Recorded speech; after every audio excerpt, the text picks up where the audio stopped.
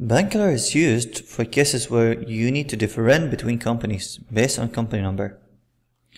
We can define the color of each company using this uh, session. Tc com to color.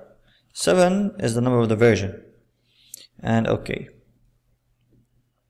now as you can see here the company 200 is already defined. If I click on preview it's gonna be in company 200 is gonna be a blue bar here at the top because it's defined I will show how it is. Now let's add another company called 550 okay? And let's choose a color. We go here choose a color. We'll have it a reddish color. This good color. Okay.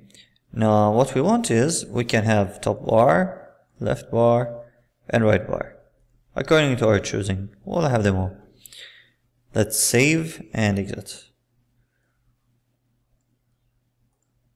okay what it asks us to relog in so let's exit and login.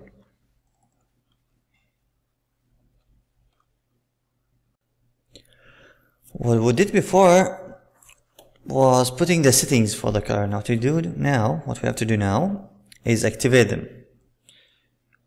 Let's try tc com to BSA7.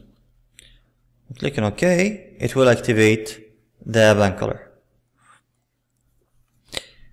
Now, if we go to manufacturing, let's go to, let's open a item control, for example, item data, report. As you can see here, in the company 550, it is reddish bars on the left, right, and the top. Now let's try go options, change company, and try 200, see what happens. Okay. Print it here. You can see on the top bar it is blue as we defined it